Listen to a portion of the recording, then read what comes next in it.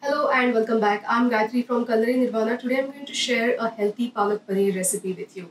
It's not just normal palak paneer. I'm going to add some ingredients such as sweet potato leaves which are really good for your health and packed with amazing nutrients and fibers and coconut milk and I'm going to cook that in mustard oil. So let's get started. This recipe we need all these ingredients and we need some shallots. You could use red onion uh, 2 cloves of garlic, 1 tomato which I have medium diced and I have taken the pulp out so I'm also going to use the pulp, some garam masala, black pepper powder, red chili powder, turmeric powder, some spring onions, spinach, sweet potato leaves, coriander stalks, chilies, paneer, coconut milk, mustard oil and these are the ingredients for the tempering which is completely optional. So here on medium high and I'm going to add 1 good tablespoon of mustard oil. I like to use mustard oil because it has a really good pungent flavor. And after that, I'm going to add my coriander stalks, garlic, and shallots together. I'm going to fry this on medium-high heat for about 5 minutes. One thing I forgot to mention is salt, of course, and I have added the salt in here. And it has been about 5 minutes. Now I'm going to add my chilies and all these spices. I'm going to give it a mix and continue to saute this for about 2 to 3 minutes. Right, so it has been about 2 to 3 minutes and now I'm going to add my tomatoes, which, uh, which is a pulp, my spring onions, and the sweet potato leaves and the spinach leaves. These vegetables, I'm not going to move them around because there is no space in my pot. So I'm going to cover this pot, oops, and let it wilt for about 2-3 minutes.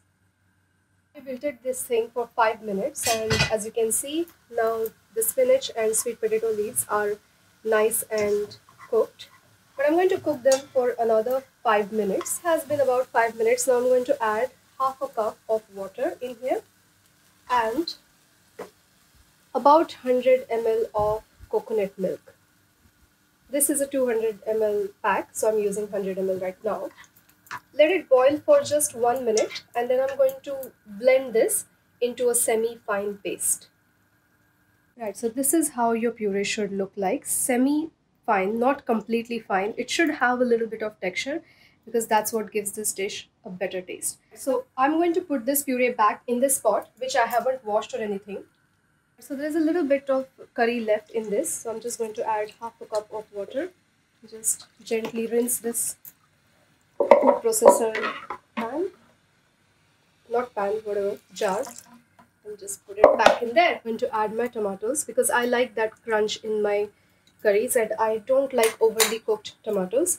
Half a cup of more water and rest of the coconut milk. Let it boil for 5 minutes and then we will come back to it.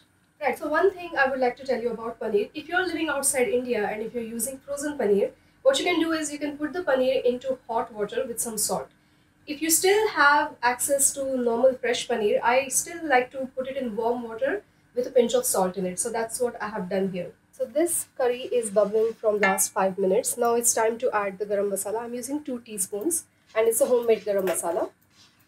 I'm going to give it a mix.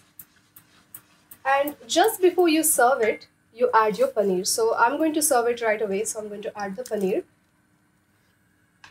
Mix it gently and cover this pot for 3-4 minutes and let it simmer.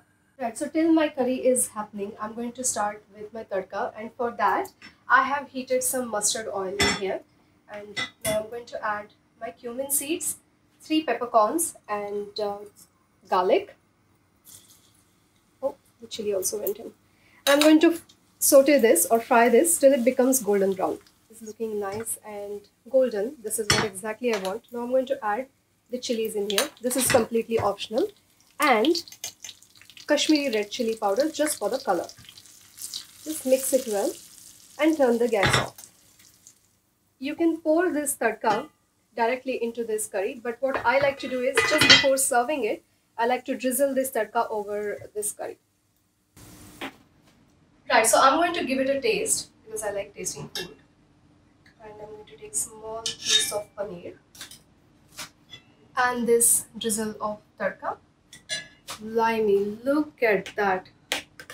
The green and the red. Oh, right, so let's taste. Hmm. It's refreshing, it's delicious, it's slightly spicy, goes really well with steamed rice, rotis, or even gluten free rotis like bhakris. Do give this recipe a try and let me know your thoughts. Thanks for watching this video. Bye.